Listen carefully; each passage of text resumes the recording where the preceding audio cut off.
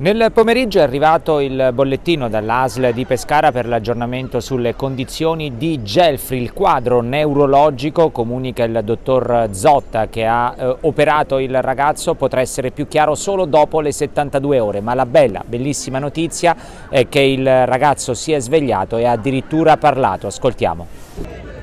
Le parole di Marisol che ha diciamo così, coordinato questa manifestazione qui a Piazza eh, Salotto dando una notizia non bella, bellissima, perché Gelfri ha parlato. Allora, io sono la mia voce ma è quella che parla per la famiglia e per tutti i dominicani e le associazioni in Abruzzo e in Italia.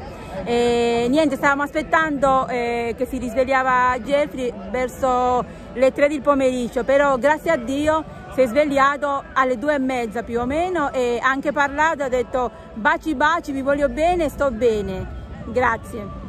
Abbiamo incontrato Marisol Marte durante la manifestazione di preghiera organizzata dagli amici di Gelfri nel pomeriggio a Piazza Salotto. Per il quadro neurologico complessivo del paziente bisognerà però attendere, come detto e come riferito con una nota ufficiale dalla ASL di Pescara, le 72 ore alle mie spalle il locale dove c'è stata domenica la sparatoria.